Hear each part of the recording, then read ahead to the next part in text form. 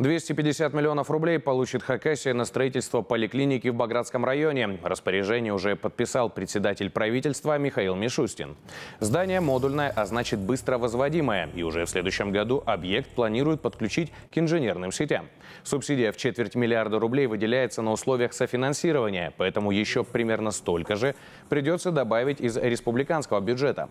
В новой поликлинике будут отделения для взрослых и детей. Общая пропускная способность при условии, что штат врачей удастся полностью укомплектовать, составит 170 человек в смену.